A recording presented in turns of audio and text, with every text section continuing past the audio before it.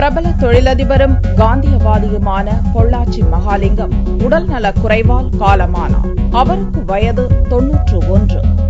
பிரபல தொழிலதிபரும் காந்தியவாதியுமான பொள்ளாச்சி மகாலிங்கம் வியாழக்கிழமையன்று சென்னையில் நடந்த வள்ளலார் குறித்த நிகழ்ச்சி ஒன்றில் பங்கேற்றார். ஏவிஎம் ராஜேஸ்வரி அரங்கில் நடந்த நிகழ்ச்சியில் அவர் சொற்பொழிவாற்ற இருந்தார். விழா நடந்து கொண்டிருந்த போதே பொள்ளாச்சி மகாலிங்கம் திடீரென மயங்கி சரிந்தார். உடனடியாக அவர் மருத்துவமனைக்கு கொண்டு செல்லப்பட்ட போதும் செல்லும் வழியிலேயே உயிர் பிரிந்து விட்டதாக மருத்துவர்கள் தெரிவித்தனர். இதையடுத்து அவரது உடல் பொள்ளாச்சிக்கு கொண்டு செல்லப்பட்டது.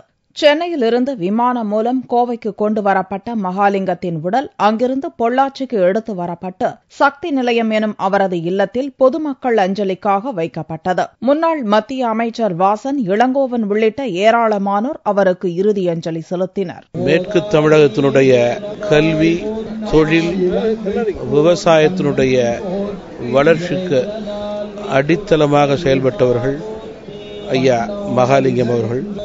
வள்ளலாருடைய அருளை பெற்று தன்னுடைய இறுதி மூச்சு வரை அதற்கேற்ப வாழ்ந்த பெருமை அவர்களுக்கு உண்டு. அவர்களுடைய மறைவு என்பது தமிழகத்தில் உள்ள அனைவருக்கும் ஈடு செய்ய முடியாத இழப்பு என்பதை தெரிவிக்க விரும்புகிறேன்.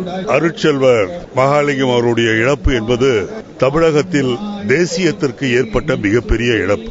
அவர் கடைசி வரை ஒரு உன்னதமான தேசியவாதியாக வாழ்ந்தார் என்பதோடு மட்டுமல்ல கோவை மாவட்டத்தை பொறுத்தவரையில் ஏற்கனவே பஞ்சாலைகளும் நூற்பு மில்லுகளும் இருந்தாலும் கூட மற்ற தொழில்கள் இந்த பகுதியிலே வளர்ச்சி அடைவதற்கு முதன்மையாக இருந்தவர் நம்முடைய பாசத்திற்குரிய மரியாதைக்குரிய அருட்செல்வர் அவர்கள். தமிழக முதல்வர் பன்னீர்செல்வம் திமுக தலைவர் கருணாநிதி மற்றும் வைகோ ராமதாஸ் உள்ளிட்ட அரசியல் கட்சி தலைவர்கள் உள்ளிட்டோர் மகாலிங்கம் மறைவுக்கு இரங்கல் தெரிவித்துள்ளனர். அதன் பின்னர் சக்தி நிலையத்திலிருந்து மகாலிங்கம் பொறியியல் கல்லூரி வளாகத்தில் இறுதிச் சடங்கு நடந்தது. மாலை ஐந்து மணி அளவில் கல்லூரி வளாகத்திலேயே அவரது உடல் நல்லடக்கம் செய்யப்பட்டது. கடந்த ஆயிரத்து தொள்ளாயிரத்து இருபத்தி மூன்றில் பொள்ளாச்சியில் சாதாரண விவசாய குடும்பத்தில் பிறந்தவர் நா மகாலிங்கம். பொள்ளாச்சி நா மகாலிங்கம் என்று அழைக்கப்பட்டவர். ஆயிரத்து தொள்ளாயிரத்து ஐம்பத்தி இரண்டு முதல் அறுபத்தி ஏழாம் ஆண்டு வரை காங்கிரஸ் எம்எல்ஏவாக இருந்தவர். சக்தி குழும நிறுவனங்களின் தலைவரான மகாலிங்கத்தை கடந்த இரண்டாயிரத்தி ஏழில் பத்மபூஷன் விருது வழங்கி மத்திய அரசு கௌரவித்தது.